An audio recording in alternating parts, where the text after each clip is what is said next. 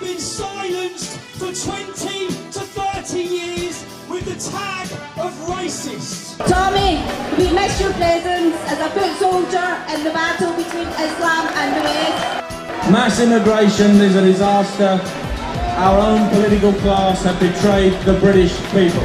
Why is it so easy to jail Tommy Robinson? But so difficult to do anything at all about the monstrous crimes committed in the name of Islam all over this country every day? Why? People versus the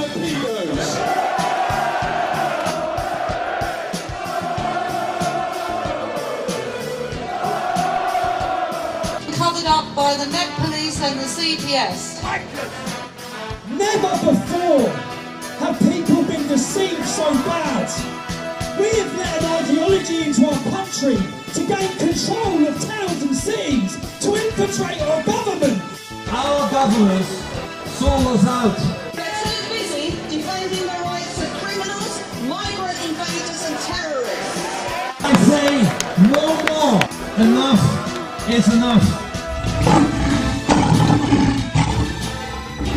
We will not be silenced.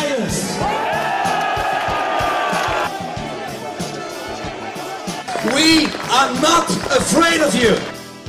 We will never surrender. Are you going to submit?